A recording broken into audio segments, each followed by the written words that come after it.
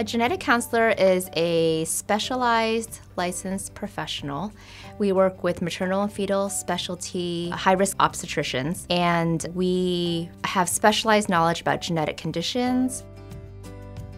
Any couple having a baby has about a 3 to 5% chance for a medically significant concern in the baby. And this is regardless of family history or pregnancy history. And so some people would like to know that type of information or be educated about that information before the baby is born.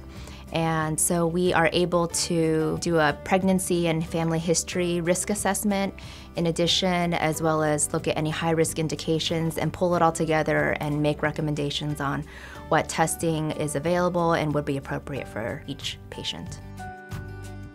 Most patients are referred by their primary obstetrician because of a high risk indication. So that would include things like being over age 35 at the time of delivery, if there's any concerns in the family history, if there is a concern on ultrasound or any blood work. These are reasons to come to the Maternal and Fetal Specialty Center to see a genetic counselor.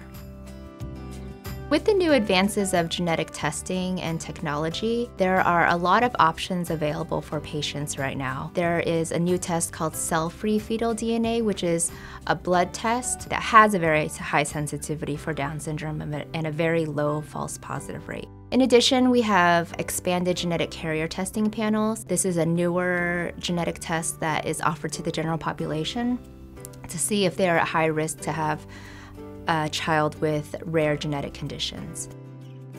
The genetic counselors at the Swedish Maternal and Fetal Specialty Center work really closely with the maternal and fetal medicine physicians. We work in-house, we're employed by Swedish, and we work closely to provide the best care for the patient. We will come up with a plan of care, especially in complicated situations, and make sure the patient is getting everything that they need.